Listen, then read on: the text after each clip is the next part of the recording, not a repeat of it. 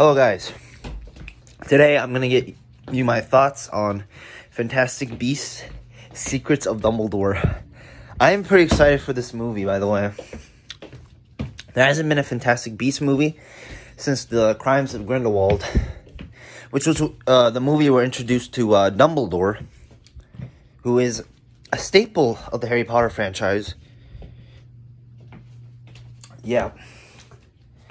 And I think this is gonna be like this movie's gonna be more in depth into Dumbledore's story, like side of you. It's gonna be fun. As a fan of the original Harry Potter movie series, yeah, I'm excited. We're gonna see Newt back. I'm guessing Queenie. Um, who else? I'm trying to think. Jacob, the Jacob Kowalski, that guy.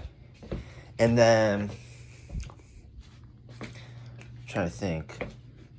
Tina Goldstein from the um, first two movies as well. Also, we're gonna have Grindelwald and all that shit. I've seen a few trailers, and I think also th- they're gonna show us like a Hogwarts a little bit more in this movie.